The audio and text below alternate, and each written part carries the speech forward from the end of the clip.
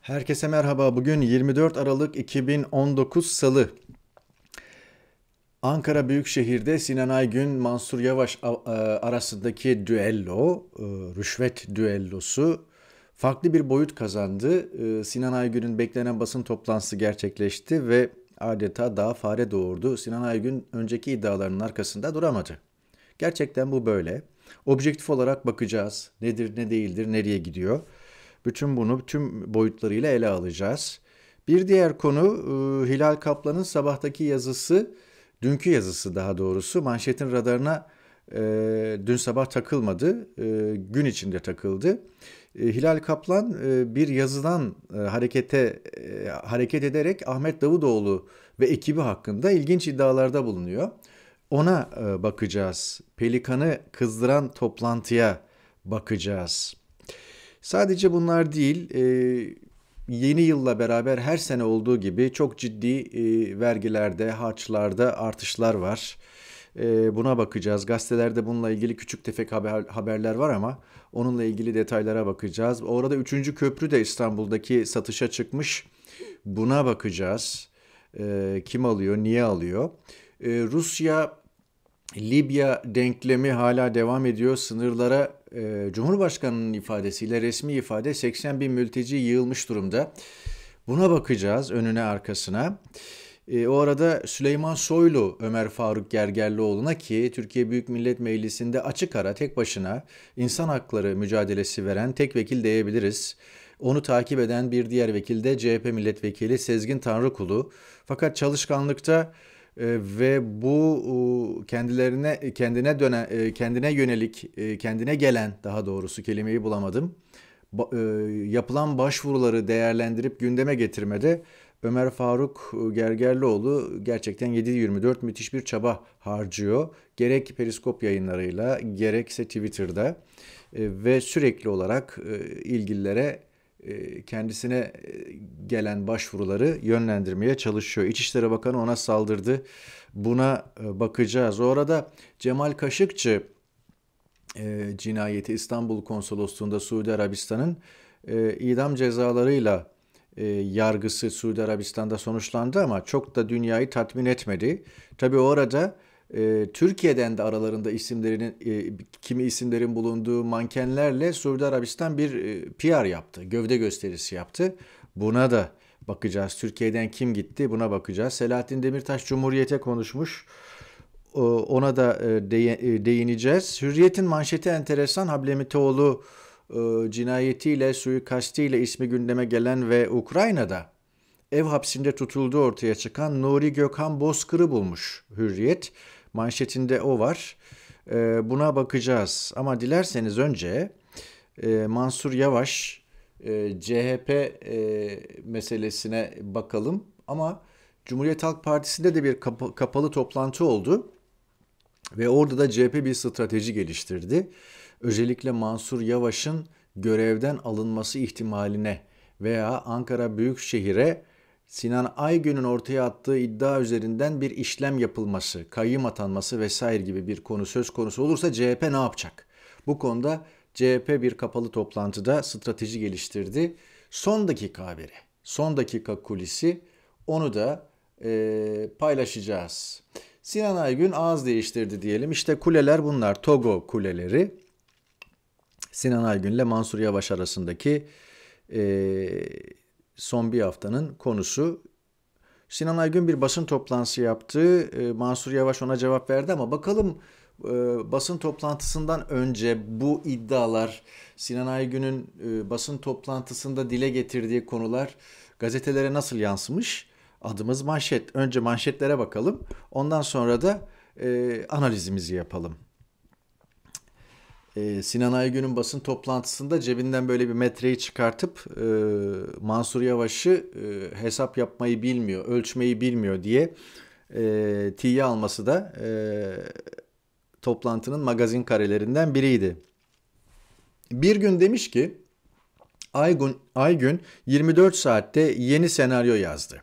Sinan Aygün Ankara Büyükşehir Belediye Başkanı Mansur Yavaş hakkında ortaya attığı rüşvet iddiasını Benden 25 milyonu kendileri için değil okul için istediler diyerek çürüttü. CHP Ankara İl Başkanı Rıfkı Güvener Aygün'ün parti üyeliğinden çıkarılması için disipline verildiğini söyledi. Karar Gazetesi demiş ki rüşvet iddiasından bağış çıktı. Basın toplantısında açıklayacağım dediği belgeleri ortaya koymadı. Paranın okul yapımı için istendiğini söyledi. Sabah gazetesi tam sayfa ay günü işlemiş bugün 24 Aralık Sabah gazetesi e, birinci sayfasını görüyorsunuz. Rüşvet pazarlığı CHP odasında başladı. Abi bize ne vereceksin? Sinan Aygün'ün şok açıklamalarıyla skandalın boyutu daha da büyüdü vesaire.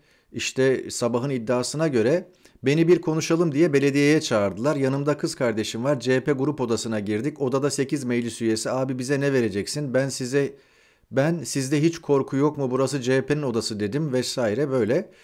Eee Mansur Yavaş parayı okul için istediler diyor. E hani okul 1 milyondu 25 milyon nereden çıktı o zaman? 25 milyonu kendisi söyledi zaten. Her neyse işte orada Pelikan tabi devrede rüşvet demeyelim okul diyelim. Pelikan e, Pelikan'ın troliçesi Hilal Kaplan e, rüşvet demeyelim okul diyelim başlıklı bir yazıyla e, olaya destek vermiş Sinan Aygün'e. O arada magazin yazarı, televizyon eleştirmeli e, Yüksel Aytur da son dönemde siyasete soyunmuş anlaşılan dinamit CHP'nin elinde patladı diyor. E, bu tarafta CHP çok dertli diye Mehmet Barlas bir yazı yazmış. Yani e, belli ki Pelikan, Sabah, Damat, Saray, bak Saray'ı bile küçük görmüşler. Yakıştı mı şimdi? Oldu mu yani Sabah gazetesi? Olmadı yani şimdi. Sinan Aygün'ün fotoğrafını daha büyük görmüşsünüz Erdoğan'dan burada. Ama galiba gündeme göre yani şu ara Sinan Aygün bizim meselemiz e, daha büyük bir meselemiz deyip e, Erdoğan'ı bugün küçük görebiliriz. Zaten her gün kocaman açıyoruz falan diye düşünmüş olabilirsiniz olabilirler. Ee, sabah bunu mesele yapmış. Yani Sinan Aygün her ne kadar basın toplantısında birbirini tutmayan laflar söylese, bir önceki söylediğini bir sonra yalanlasa, ağız değiştirse bile öyle dedik. Ağız değiştirdi dedik. Bizim bizim gene ifadelerimiz kibar görüyorsunuz. Öyle de olsa neticede e, sabah bu işi sürdürecek gibi duruyor yani. Buradan bir şey yakaladık biz Mansur'un üzerine yürüyebiliriz gibi bir hal var. Bu kadar mı? Evet bu kadar. Alkollü araça birazdan geleceğiz. Peki e, Cumhuriyet Halk Partisi ne yapacak? Cumhuriyet Halk Partisi ne yapacak? Cumhuriyet Halk Partisi'nin ne yapacağını dilerseniz BBC Türkçe'den okuyalım. BBC Türkçe'ye e, yeni düşen bir haber. Ama ondan önce Sinan Aygün'ün e, açıklamalarını Deutsche Welle'den e, görelim. Evet onu da seçmişim. E, şimdi görünce hatırladım. Ses kaydı var demedim. Yahu yani kayıtlar elimde kaydettim falan gibi şeyleri biz bir haftadır okuyoruz. Yani bir şey de bu. Bir ağız değiştirme, bir olayı e, bir farklı tarafı da bu. Yani enteresan. Açıklamalarına bakalım. Gelsin burayı ölçsün. Kaçak inşaat nasıl olurmuş vesaire vesaire. E, işte plan değişikliği işte o meşhur şey yapıyorlar. Ofisime geldiklerinin görüntüleri var diyor. Aygün ben para talebine ses kaydı var demedim. Ofisime geldiklerinin görüntüleri var dedim diyor. E şimdi siz yani bunu nasıl ispat edeceksiniz? Birisi birisi hakkında bir iddia ortaya atıyor. Yani yani bir... çok tuhaf. Benden 25 milyon istediler. Ben de söyleyeyim yani. Benden benden istediler ve vermedim falan. Yani savcıya bununla gidilmez ki. Yani yani rüşvetin belgesi mi olur? Yani ama yani bir iddia ortaya attığınızda elbette bunun elle tutulur bir şeysi olacak yani. Belediye meclisi üyeleriyle görüşmüşsünüz sen ve kardeşin. Evet tamam. Sonra yani e, tuhaf. Şimdi 25 milyona geliyoruz. O arada Peker'le çay içtiğini de kabul etmiş bu arada. Sedat Peker görüntüleri de düşmüştü. Ha, Mansur Yavaş Twitter hesabından şu videoyu paylaşmış. Hakikat yalana, iftiraya, harama işte böyle diz çöktürür. Doğrularsa sadece hakkın önünde eğilirler diyor. Bir video paylaşmış ki video korkunç izlenmiş. Yani E, 2 milyonu geçmiş izlenme sayısı. Sol alt köşede görebilirsiniz. Yaklaşık 17 bin kere RT'lenmiş, 77 binin üzerinde de beğeni almış. Şimdi bu videoya bakalım. Bu video çok kısa. Ben e, sadece e, alt yazı desteği verdim. E, konuşmalar tam olarak anlaşılsın diye. E, ben de bir yere kaybolmayacağım. Şu videoyu bir izleyelim. Devam edeceğiz. 10 saniye çok fazla değil. Çok net bir soru soracağım. O kişiler sizden 25 milyon lirayı kendi ceplerine indirmek için mi istediler? Hayır, öyle bir şey yoktur. Benden şöyle dediler, okulun bedeli 25 milyon tutuyor. Ben de Video bu kadar. Bu zaten yeterli. Ee, hayır diyor. Öyle bir şey yok. Yani 20 e, açıkçası 25 milyon rüşvet meselesi de gitti. Hani 25 milyonluk bir rüşvet meselesi vardı. O da gitti. Yani e, sabah rüşvet pazarlığı diyor ama yani e, rüşvet pazarlığı CHP odasında başladı. E ama adam biraz evvel hayır öyle bir şey yoktur dedi. Ve Sinan Aygün'ün bu basın toplantısını Sinan Aygün'ün bu bu basın toplantısını onlarca kanal canlı yayınladı TRT başta. Mansur Yavaş'a hiç kimse kamera uzatmıyor, mikrofon uzatmıyor. Bu gazetelerde zaten Mansur Yavaş'ın görüşü de yok, ne dediği de yok. Silme Sinan Aygün ve işte iddiaları var. Ama adam iddiasının arkasında duramamış. Yani sürekli aynı şeyi söylüyorum ama e, şaşırtıcı, tuhaf. Yani bir daha izleyelim. Bir daha izleyelim. Çok net bir soru soracağım.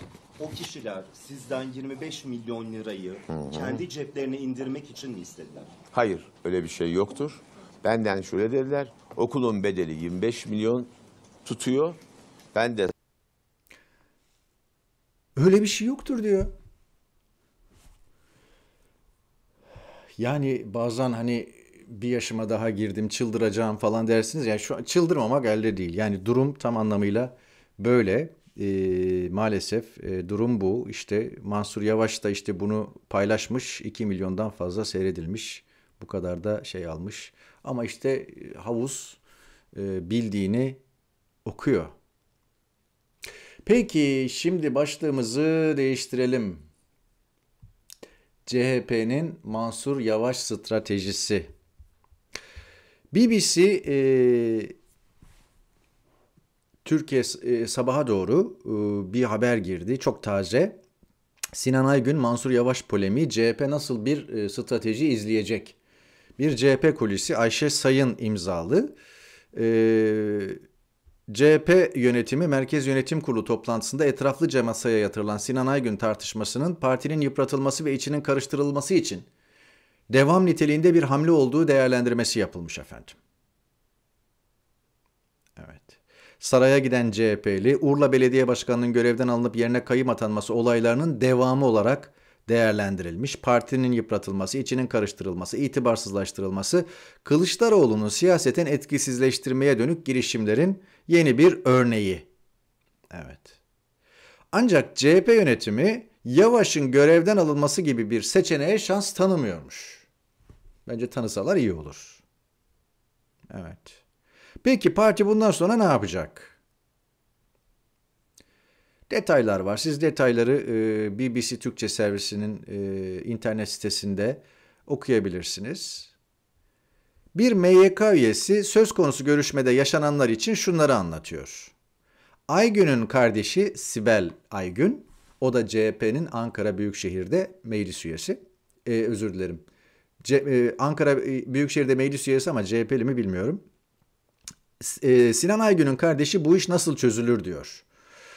İki belediye meclisi üyesi de plan tadilat notu düşülmüş, okul inşaatının bitirilmesi gerekir diyorlar.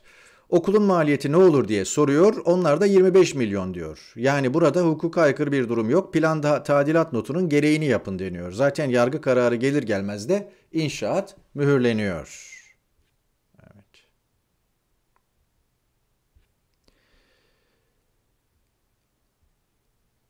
Ay günü Parti kaynaklarından bir bilgi. Aygün'ü birileri ya gaza getirdi ya da yanlış bilgi verdi. Şimdi işin içinden çıkamıyor. Aslında kendi ayağına sıktı demiş.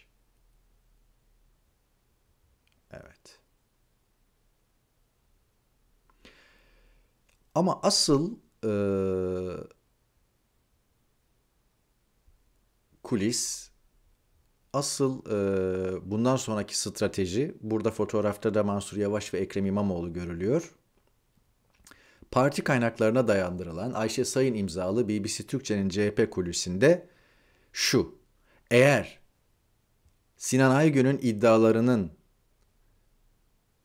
iddialarını hükümet, devlet, saray değerlendirir ve Mansur Yavaş'ı görevden almak gibi bir şey söz konusu olursa işte şu paragraf. Birlikte okuyalım. Mansur Yavaş'ı görevden almak o kadar basit değil. Sonuçları ağır olur. Bu artık bardağı taşıran son damla olur. Bu karara itaat de etmeyiz. Yavaş'ı görevden almak Libya'ya asker göndermekten daha tehlikeli bir iş. Ankara'da seçimi kaybetmişsin. Yavaş'ın performansı ve kamuoyundaki algısı seçildiği dönemden daha iyi. Ankara'nın en tartışmalı iki kişisine karşı Sinan Aygün ve Melik Gökçek'e karşı mücadele ediyor. Böyle bir karar ikinci İstanbul seçimini yapmak gibi bir şey olur. Eğer Ankara'ya müdahale ederlerse iktidar kendi gidişini hızlandırır. Evet. Evet. Demokrasinin kılıcı Ankara İstanbul Belediye Başkanlarının üstünde sallanıyor. Bu net, herkes de bunu görüyor. Ee, fakat şu cümlenin bir kere daha altını çiziyorum. Mansur Yavaş'ı görevden almak Libya'ya asker göndermekten daha tehlikeli bir iş. Urla Belediye Başkanı'nı görevden aldılar, tutukladılar. Şu anda içeride %60 küsur oyla seçilmiş. Yerine de kayyım atadılar. Belediye meclisinde de seçim yapmadılar. Çünkü belediye meclisinde seçim yapsalar yine bir CHP'li seçilecek. Üç gün konuşuldu ve unutuldu. Hatta üç gün bile konuşulmadı. iki gün konuşuldu ve unutuldu. CHP'de hiç hatırlamıyor. Umarım e, bu parti kaynaklarının BBC Türkçe'ye anlattığı içerideki hava e, devam eder veya yarın öbür gün Ankara Büyükşehir'de bir operasyon olursa biz de bu lafların takipçisi oluruz. Evet Urla ile ilgili konular falan filan konuşulmuş ama hiç Urla'yı umursadıkları umursadığınız yok. Bu konu böyle. Ee, bakalım ne olacak? İlerleyen günler neler getirecek? Evet sabahın manşeti. Sabahın manşeti demişken e, dilerseniz konuyu değiştirelim ve Pelikan'a geçelim. Pelikan'ı kızdıran toplantı. Yeni başlığımız bu. Hilal Kaplan dün bir yazı yazdı ve Ahmet Davutoğlu ve ekibinin e, Pelikan'ı dağıtmak için, Pelikan'ı bölmek için e, nasıl bir faaliyet yürüttüğünü özellikle Davutoğlu başbakanken anlattı. Kendi iddiası ama Süleyman Özışık'ın yazısına dayandırmış. Hilal Kaplan'ın yazısından okuyorum. Süleyman Özışık bir televizyon programında konuşmuş, Hilal Kaplan da aynen deşifresini yapmış. Ahmet Davutoğlu'nun başbakanlığı döneminde Ahmet Bey'in ekibi tarafından İstanbul Anadolu yakasında Sayın Cumhurbaşkanı'nın evinin biraz aşağısında bir mekanda bir toplantıya çağrıldım. Tekrar altını çizerek söylüyorum. Reis dönemi bitiyor, hoca dönemi başlıyor. Bizimle misin, değil misin diye benim görüşüm alındı.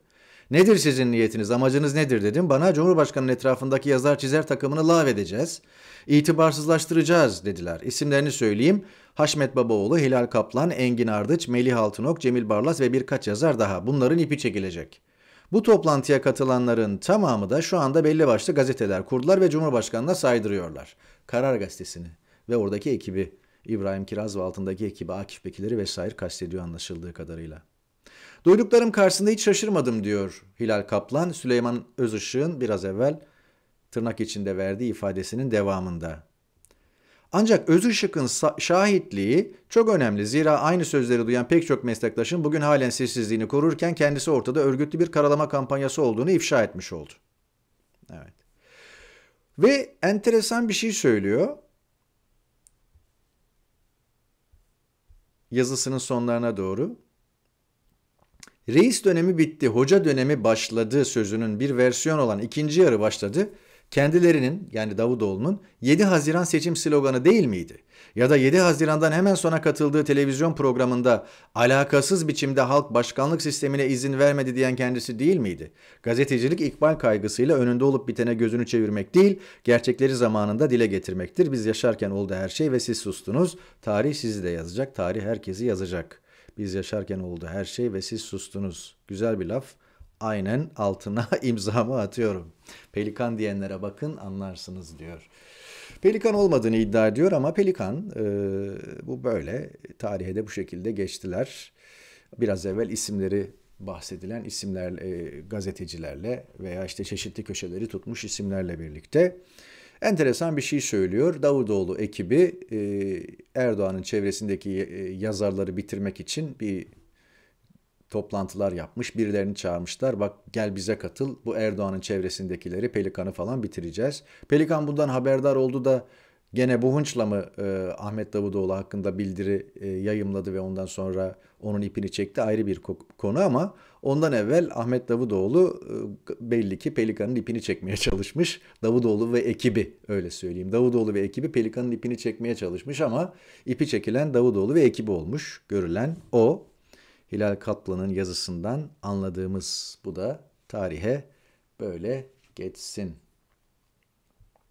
Manşetin radarına takılanlarla devam edelim. Manşetin radarında takılan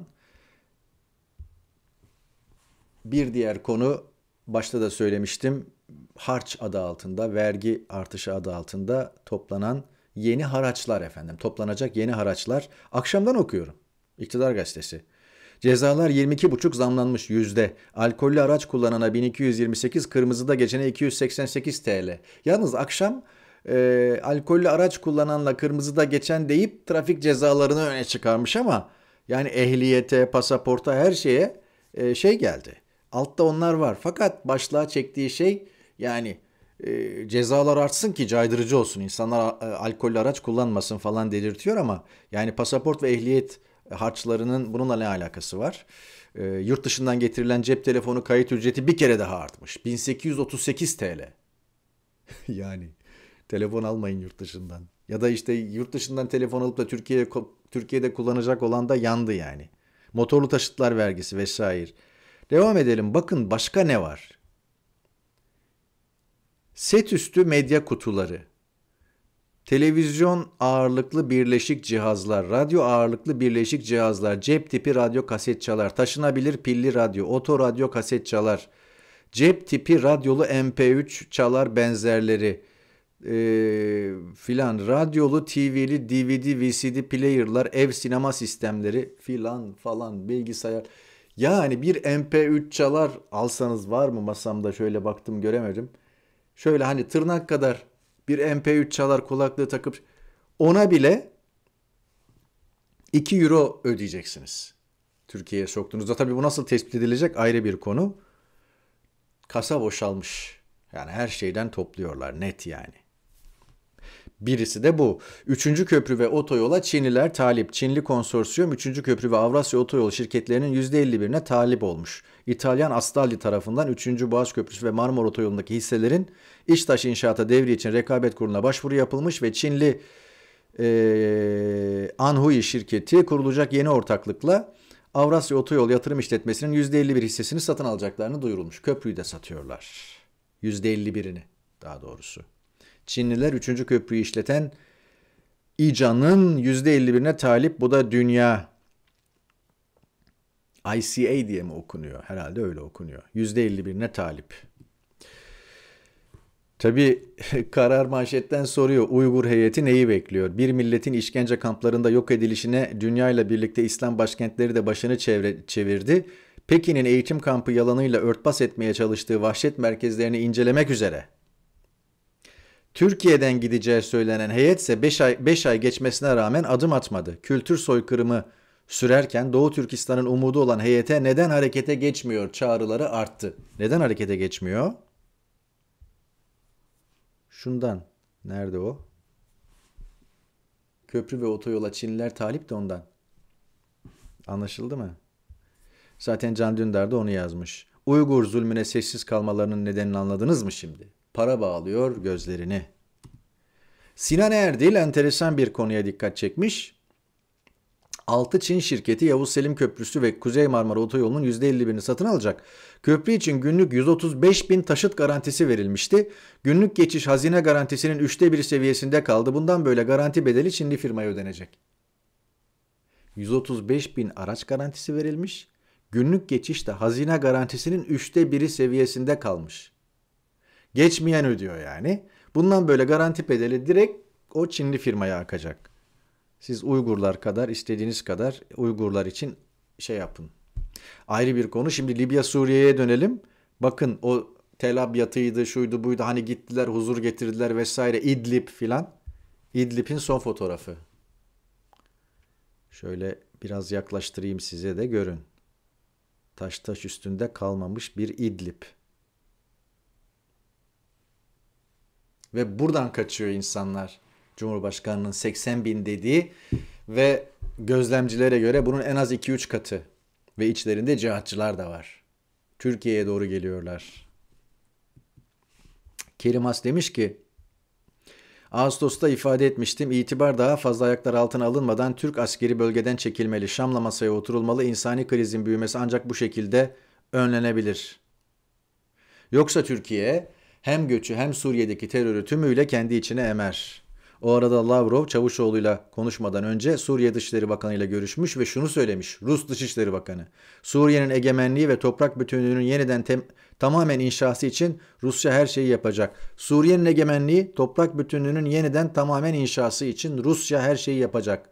Güvenli bölge bir şey demiyorum. Evet.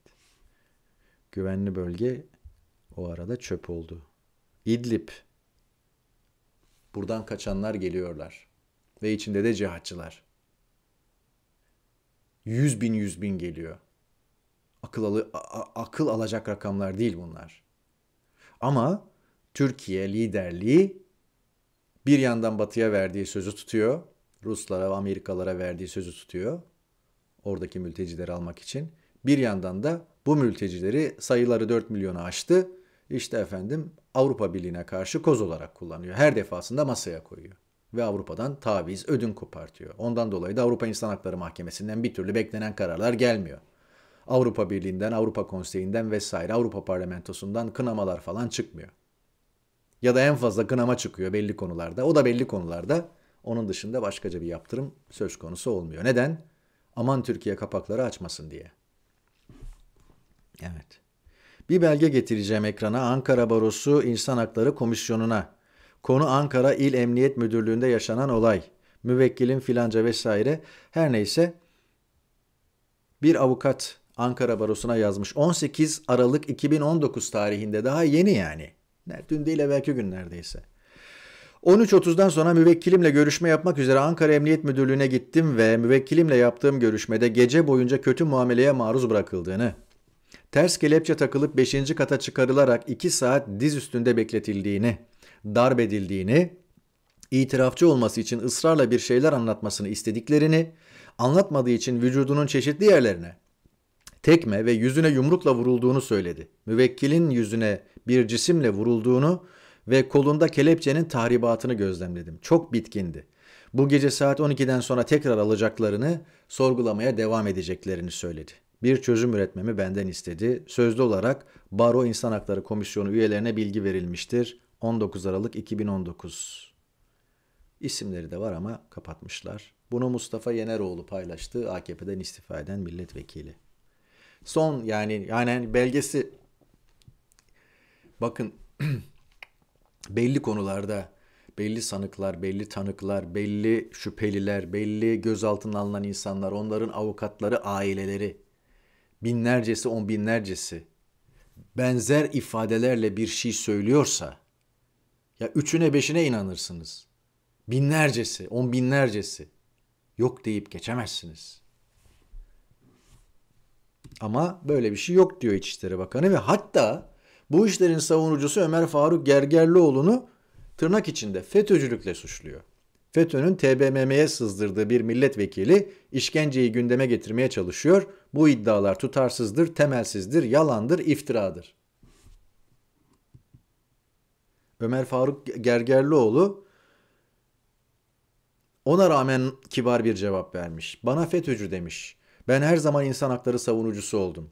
Soylu, siz her devre uyan bir insan oldunuz. Yarın da değişirsiniz. İşkenceye, kimliğe bakmaksızın karşıyım. İftiralarınız işkenceyi örtemez, baro raporunu görmezden gelen tabii ki etiketlemeye, iftiraya sığınır demiş. Erkacerer de üzerine şu notu düşmüş. Vekiller Ankara Barosu rapor hazırlıyor. Bakanlık karakola sorduk işkence yok diyor. Toplumun aklıyla böyle alay edilmez. Bakan telefon açıp kar onu da sormamıştır da işte yani. Biliyor yani. Kendi talimatı ya. Ya açık sesi var Süleyman Soylu'nun polislere bacaklarını kırın diye.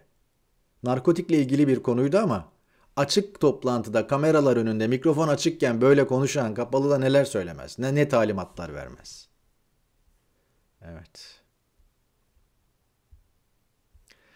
İşkence demişken testereyi mahkeme temizledi. Cemal Kaşıkçı kararı çıkmış e, Suudi Arabistan'da. 5 idam cezası verilmiş. Ama infaz timi serbest. Karardan okuyoruz haberi. Gazeteci Cemal Kaşıkçı'nın vahşice katledilmesine ilişkin Suudi Arabistan'da görülen davada karar çıktı. Mahkeme 5 kişiye idam, 3 şüpheliye ise 24 yıl hapis cezası verdi.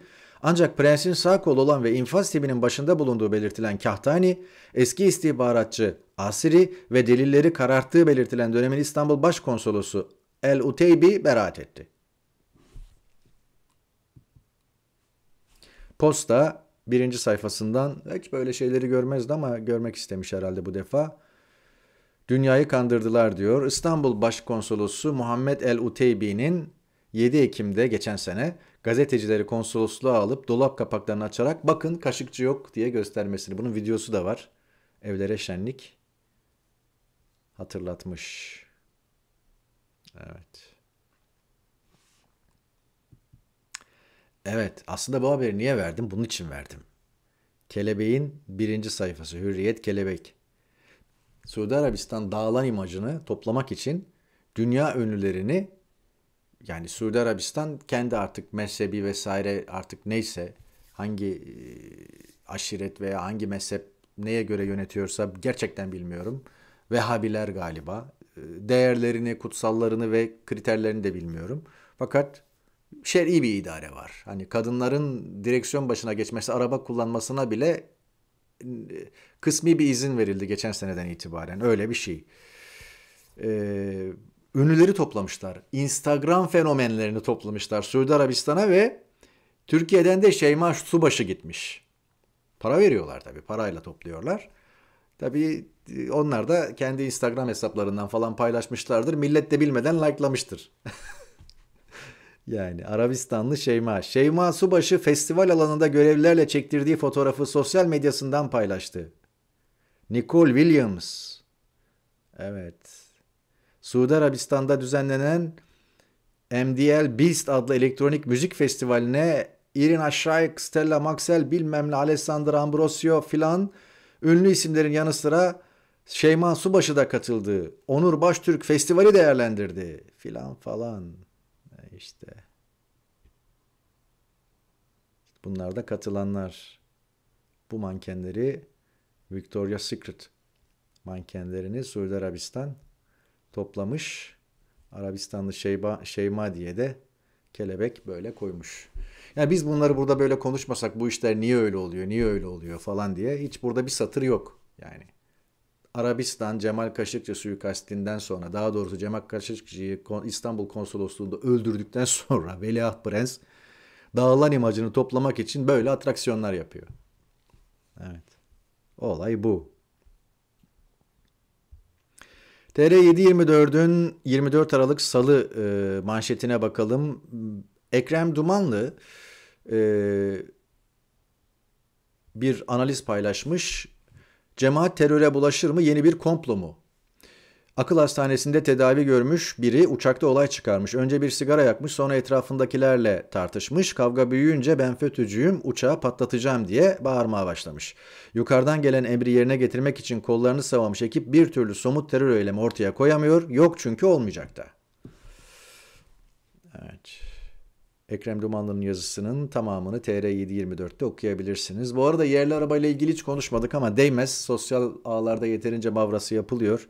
8-10 senedir bir yılan hikayesi. 2015'te çıkıyordu. İlk başta 2014-2015'te yollardaydı.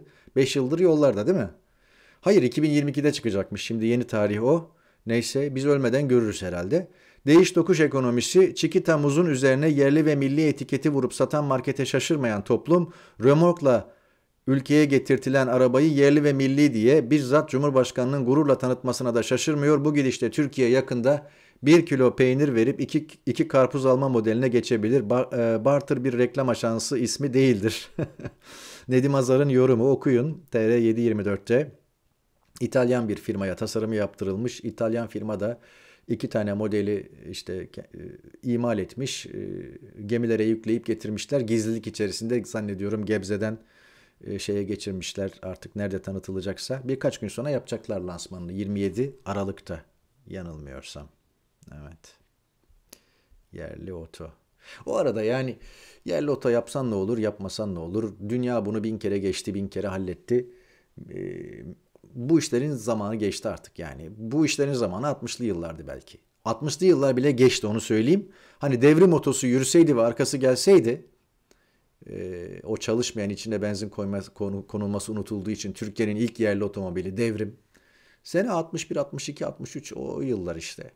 Bu o zamanın mevzusuydu. Hatta geç bile kalmıştı ama işte o zamanın mevzusuydu yani. 60 sene sonra yerli otol yapmanın falan yani şimdi yani İngilizler, Fransızlar, Almanlar bakıp da sana ya falan kıskanacaklar mı, alkışlayacaklar mı yani? Adamlar tur bindirir sana bu mevzuda. Yani sadece yerli pazara dönük mü yapacaksınız? Yani o da ayrı bir konu. Ha taksiciler odası da çıkmış 17 bin araç alacağız hemen destekliyoruz falan demişler. Taksiciler odası da iktidarın her türlü affedersiniz yalakası ya. Yani bunlar taksiye, taksiye müsait mi değil mi? Yani arabaların 350 bin TL'den başlayacağı söyleniyor fiyatlarının. Yani siz 15-20 bin liralık arabalarla falan ya da ıskartaya çıkmış arabalarla bu işi yapıyorsunuz. Her neyse. Hurdaya çıkmak üzere olan arabalarla falan taksicilik yapıyorsunuz. Bu arabaları almaya gücünüz yeter mi? Bir de 17 bin taksi adına konuşmuş İstanbul Taksiciler Odası. 17 bin taksi 350 bin verip birer tane yerli oto alacak. İşte yalakalığın sonu yok. Demirtaş, Selahattin Demirtaş Cumhuriyete konuşmuş. Alican Uludağ imzalı e, haber bir bağlantı ha geldi tekrar. E, sol blok büyümeli diyor. E, AKP'yi çürümüş bir parti olarak nitelemiş. Türkiye'nin artık AKP sonrasını tartışması gerektiğini ifade etmiş. Ayrımsız tüm muhalefet güçleri demokrasiye geçiş programı hazırlamalı demiş Selahattin Demirtaş. Yeni Yaşam manşetten gizli tanık ifadesiyle tutuklanan Elif Kısa'nın engelli çocuklarından kamuoyuna çağrı, duyun bu sesi.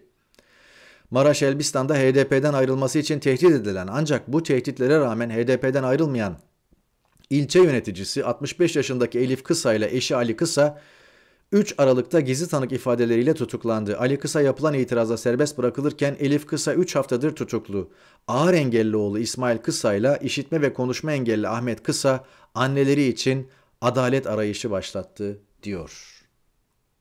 O arada Sur Belediye Başkanı tutuklanmıştı.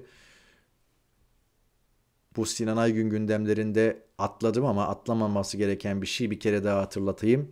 Sur Belediye Eş Başkanı Filiz Buluttekin gözaltına alındı deniliyor ama tutuklandı. Evi basılıyor. Eşinin ve henüz 10 yaşındaki oğlunun başına polislerce silah doğrultuluyor. Böyle bir Türkiye. Böyle bir Türkiye. Hürriyet'in manşeti Karanlık Nuri'yi Kiev'de bulduk. 24 Aralık Salı Hürriyet manşeti. Hürriyet e, çünkü tutuklu değil e, ev hapsinde. Haberi okuyorum sadece. Türkiye onu Hablemitoğlu cinayetinin katil zanlısı olarak arıyor. O ise Ukrayna'da gece ev hapsinde tutuluyor. Nuri Gökhan Bozkır'la Kiev'de buluşup hakkındaki iddiaları sordum diyor. Toygun Atilla gitmiş görüşmüş. Hürriyet'in karanlık Nuri diye manşetine taşıdığı Bozkır'a avukatları aracılığıyla ulaştım. Röportajı kabul edince Kiev'e gittim. Yanıtını tahmin ettiğim halde gözlerine bakıp şu soruyu sordum. Cinayeti sen mi işledin? Olayla ilgisi olmadığını, telefonun Hablemitoğlu'nun evinin oradan sinyal vermesinin tesadüf olduğunu ileri sürdü. Birçok sorumu avukatlarının müdahalesiyle yanıtlamadı. Uzun uzun eski bir özel kuvvetler mensubu olarak Türkiye'ye çok önemli hizmetler yaptığını anlattı. Ülkesine bu kadar bağlıysa neden Ukrayna'ya iltica başvurusu yaptığını sorunca da iftiraya uğradım. Benim ve ailem için hayati tehlike doğar şeklinde yanıtlar verdi. Rambo tarzı biriyle karşılaşmayı bekliyordum. Atletik ama çelimsiz denebilecek biri çıktı karşıma diyor. Evet. Burada da Bozkır geceleri ev hapsinde tutuluyor. Saat 19'dan sonra sokağa çıkamıyor. Belli ki gündüz serbest o arada dolaşabiliyor. Evet.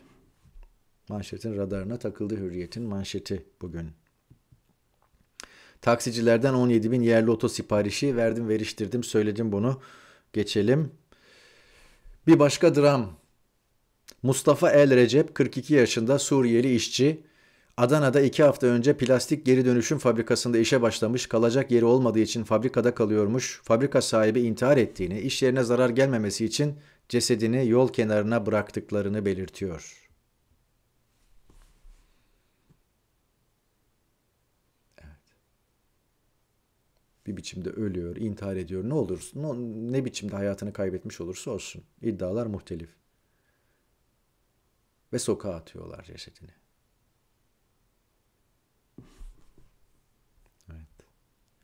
Hani bu milletin başına gelecek var diyorlar ya.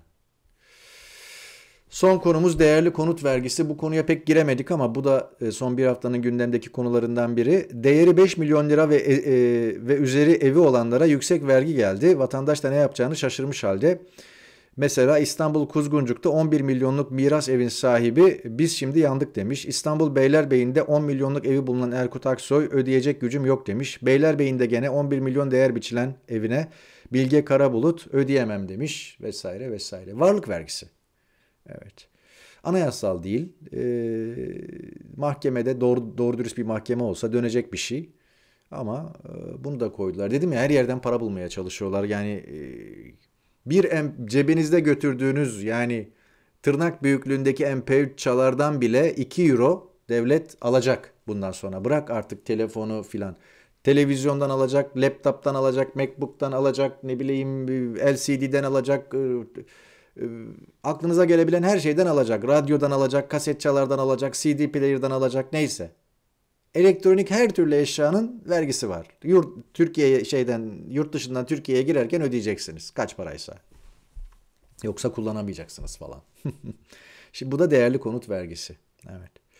Bu konuda bayağı bir e, ayağa kalktı. E, bu tür konutları olanlar ve gerçekten ödeyemeyecek durumda olanlar. E, ilerleyen zaman içerisinde saray bu konuda e, yükselen tepkilere bakıp bir gevşeme yapabilir. Onu da söyleyeyim. Çünkü Mehmet Barlas bile yazdı konuyu. Evet. Manşetin radarına takılanlarla böylelikle bugünkü manşeti de tamamlıyoruz. 40-42 dakika civarında bir program yaptık. Umarım doyurucu olmuştur. Umarım sağda solda duymadığınız şeyleri bizim ağzımızdan ilk defa farklı bakış açısıyla işitmişsinizdir. Vaktinizi heba etmemişsinizdir. Etmediğinizi düşünüyorsunuzdur.